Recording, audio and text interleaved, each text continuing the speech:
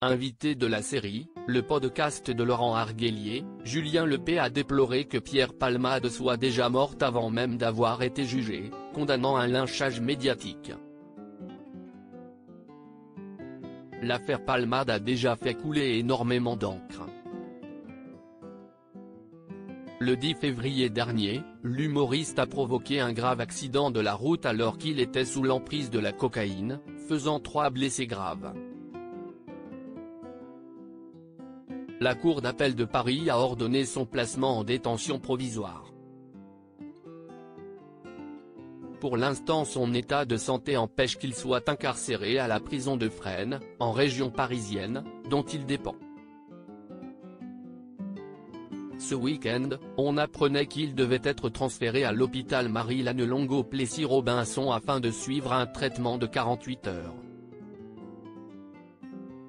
Julien Lepé condamne les procès médiatiques de nombreuses personnalités ont déjà commenté cet accident.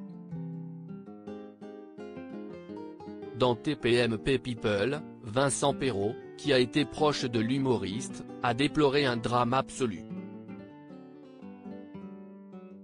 Je ne peux pas m'empêcher de penser à Pierre qui a fait là, la plus grosse connerie de sa vie. Et je pense qu'il va la payer longtemps. Pour toujours, a-t-il indiqué. Julien Lepé, invité de la série, le podcast de Laurent Arguelier disponible sur toutes les plateformes de podcast, s'est également exprimé sur l'affaire. Il a ainsi indiqué que la société d'aujourd'hui pouvait lui faire peur à cause du lynchage médiatique. On lèche, on lâche, on lynche. La règle des trois L. Tu ne sais pas pourquoi on te lynche, a-t-il constaté. Et l'exemple qui lui est immédiatement venu à l'esprit est l'affaire Palmade. Avant le procès, il est déjà mort. Qu'on fasse le procès de quelqu'un, il y aura une défense. Il y aura une attaque. Il y aura des juges. Ça, si est un procès. Tu es déjà morte avant le moindre procès. Palmade, il n'y a pas de procès, rien du tout, il est déjà mort, a-t-il regretté. Julien Lepé aimerait aider Pierre Palmade Julien Lepé a affirmé qu'il ne maîtrisait pas le sujet de la drogue qu'il n'y avait d'ailleurs jamais touché. Pas d'alcool non plus, aucun alcool, pas de fumette. Mais j'imagine que si est très mauvais pour le corps humain, a-t-il précisé, avant d'embrayer à nouveau sur Pierre Palmade et qu'ils prennent une voiture sous l'emprise de substances illicites, si est très mauvais.